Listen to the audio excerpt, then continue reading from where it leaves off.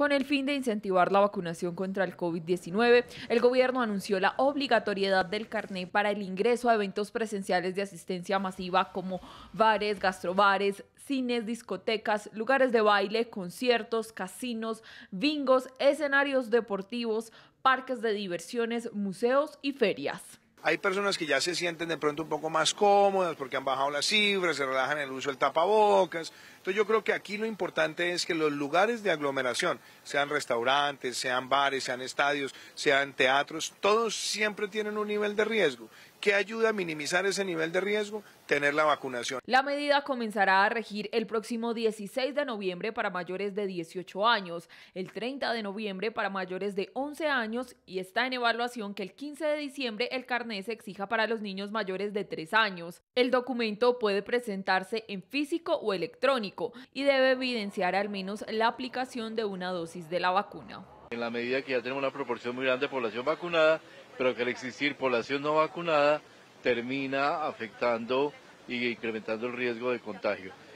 Importante, la primera dosis. Lo que se quiere en este momento, dado que estamos en proceso de avance, se debe certificar la primera dosis. El ministro del Interior aseguró que habrán sanciones para los establecimientos que no exijan el carnet. En el momento que no se exija el carnet de vacunación o que se encuentren personas adentro que no hayan presentado el carnet de vacunación, la sanción administrativa y policiva será para el establecimiento que es el encargado de hacer la solicitud del carnet para poder garantizar el ingreso. Los epidemiólogos vieron con buenos ojos esta decisión.